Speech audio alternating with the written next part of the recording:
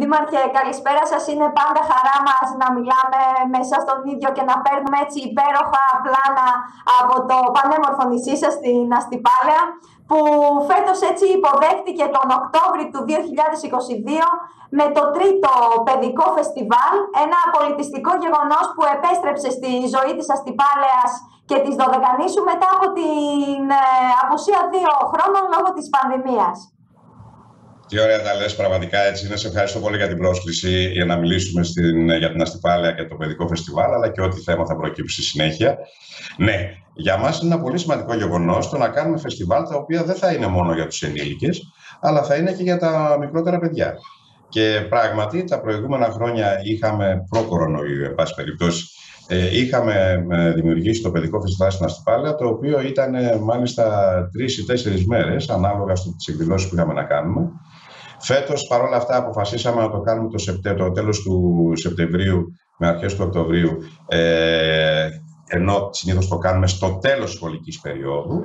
Το κάναμε στην, στην αρχή της σχολικής περίοδου, γιατί δεν ξέραμε πώς θα προχωρήσουν τα πράγματα. Τι κάνουμε στο παιδικό φεστιβάλ, Κάνουμε δράσεις οι οποίες έχουν να κάνουν με τα παιδιά και του Δημοτικού και του Γυμνασίου. Κυρίως φέτος αυτό που κάναμε ήταν με τα παιδιά του Δημοτικού. Προσπαθούμε να τους φέρουμε κοντά ε, με διάφορους τρόπους διαδραστικούς, ε, τους οποίους οργανώνει ε, η υπεύθυνη ε, όλης αυτής της δράσης, η Κωνσταντοπούλου, η οποία έρχεται στην Αστυπάλαια, η Φωτεινή, η οποία έρχεται στην Αστυπάλαια μαζί με μια ομάδα καλλιτεχνών, επιστημόνων, παιδαγωγών, ε, διασκεδαστών, ούτως ώστε να μπορέσουμε να δώσουμε στα παιδιά αυτά τις γνώσεις, τις εμπειρίες και ιδέες τις οποίες δεν μπορούν να έχουν από τις πιο περιορισμένες παραστάσεις που υπάρχουν στο νησί.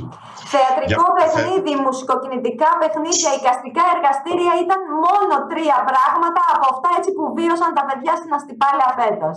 Και να μην ξεχάσουμε να πούμε ότι προσπαθήσαμε να τους βάλουμε και στο πνεύμα του σουρεαλισμού ως μια μορφή τέχνης, την οποία πρέπει να έρθουν κοντά, να την γνωρίσουν, σαν ένα μέσο έκφρασης, ούτως ώστε γνωρίζοντας όλα αυτά τα ωραία τα οποία είπες προηγουμένως, να μπορέσουν ακριβώς τα παιδιά αυτά ε, να αντιληφθούν ότι υπάρχουν διάφορες μορφές έκφρασης, οι οποίες δεν είναι καθιερωμένες σαν και αυτές που βλέπουμε κάθε μέρα ή που βλέπουμε από τις τηλεοράσεις, και μέσα από τον τρόπο αυτό να μπορέσουν και αυτοί να αποκτήσουν ε, νέους τρόπους με τους οποίους θα προσεγγίζουν ακόμα και την τέχνη. Είχαμε και για πιο μικρά παιδιά εκδηλώσεις που είχαν να κάνουν με τις ιστορίες με τους ε, δεινόσαυρους, στον κήπο μου κτλ. Περιπέτειες του Ηρακλή και τι δεν έχουμε κάνει. Και μάλιστα αυτή η αλήθεια είναι έχουμε κάνει και κλακέτες και όλα αυτά τα πράγματα. Και μάλιστα όλα αυτά, ε, ε συνήθως που το κάναμε στο τέλος της σχολικής χρονιάς, το κάναμε επειδή ακριβώς ε, ερχόντουσαν και παιδιά από άλλες περιοχές. Δηλαδή, ε, πρόπερση, προ-κορονοϊού, πριν από τρία χρόνια, είχαν έρθει παιδιά τα οποία ήταν από την Κάλυμνο και είχαν έρθει μαζί με τους καθηγητές τους εδώ, με τους δασκάλους τους και μείνανε στην Αστυπάλαια δύο-τρεις μέρες και συμμετείχαν και αυτοί σε αυτό το φεστιβάλ. Αυτό είναι πολύ ωραίο.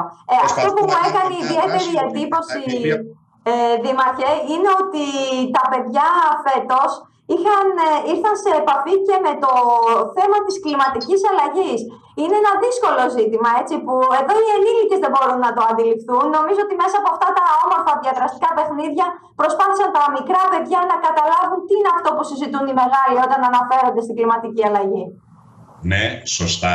Η Αστυπάλαια ήδη ε, είναι αρκετά μπροστά ναι. στο κομμάτι αυτό με τις δράσεις τις οποίες κάνουμε εμείς με την γενικευμένη ηλεκτροκίνηση, με την ηλεκτρική αστική συγκοινωνία που έχουμε ηλεκτρικά βανάκια αλλά ταυτόχρονα και με το νέο σταθμό παραγωγής ρεύματος, ο οποίος θα έχει φωτοβολταϊκό και στη συνέχεια θα έχει και μία ανεμογεννήτρια, ούτως ώστε να καλύπτουμε τις ανάγκες του νησιού εμείς εδώ από την Αστυπάλαια μόνο για τον εαυτό μας, χωρίς να έχουμε ανάγκη να έχουμε διασυνδέσεις με οπουδήποτε αλλού και με άλλες περιοχές, με καλώδια ή να αποφύγουμε τα αιωλικά πάρκα, τα μεγάλα, τα οποία δημιουργούν, ξέρετε, πολύ καλά προβλήματα στο, mm-hmm. στις, στα νησιά μας.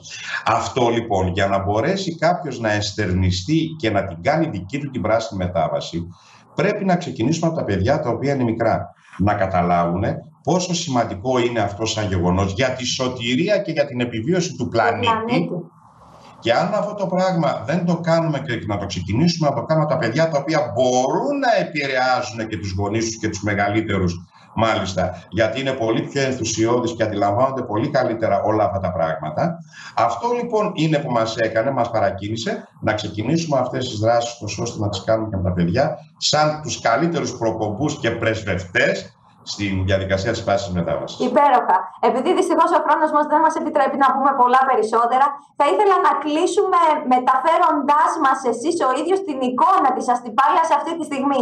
Είμαστε σχεδόν στα μέσα του Οκτώβρη του 2022, μετά από μια πολύ όμορφη, πολύ πετυχημένη τουριστική σεζόν. Και έτσι πείτε μας τι επικρατεί αυτή τη στιγμή στο νησί. Πράγματι, έχουμε κόσμο στο νησί μας ακόμα. Δεν το είχαμε συνηθίσει να το βλέπουμε αυτό το φαινόμενο. Και το καλοκαίρι έχουμε πάει πολύ καλά. Είμαστε καλύτερα και από το 19 και από το 20 και από το 21.